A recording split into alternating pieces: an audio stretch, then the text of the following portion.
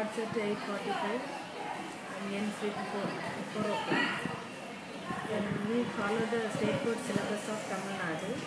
Just, uh, we follow all the teachings. But we only thing we follow the Braille method for our students. And we get the textbook from the government and we convert it into uh, Braille. And we we give all the students Braille books. We may we have Braille printers. So we make it. So we, all the children will get Braille book. So they are able to read and write. Uh, on their own they can study. Just like other students, they can study. How do the teachers, are the teachers trained in Braille? And special training. mm -hmm. That is in Punamalli RTC is called. RTC Regional Center, Punamalli.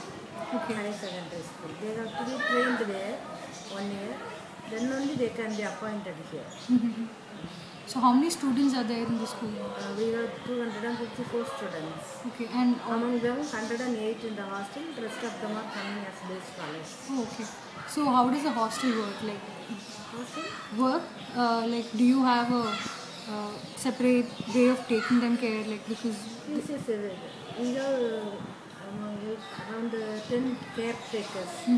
For the, for their needs to be met by them. okay, And most of them they do, they are trained do, to do their own things. Some the small children only get need attention by the caretakers. Okay. thank you.